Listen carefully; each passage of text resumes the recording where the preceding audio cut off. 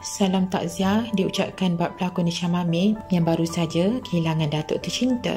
Hisham berkongsikan berita duka itu di laman instastory-nya. Inna lillahi wa inna ilaihi raji'un. Semoga Allah ampunkan dosa-dosa atuk dan atuk ditempatkan di kalangan yang beriman. InsyaAllah. Amin. Tenanglah di sana atuk. Mohon hadiahkan Al-Fatihah buat atuk saya, Abdul Ghani bin Salim. Terima kasih. Bagaimanapun, Hisham tidak menyatakan punca sebenar kematian Allahyarham. Marilah kita sama-sama doakan supaya roh Allahyarham ditempatkan di kalangan orang-orang yang beriman. Al-Fatihah.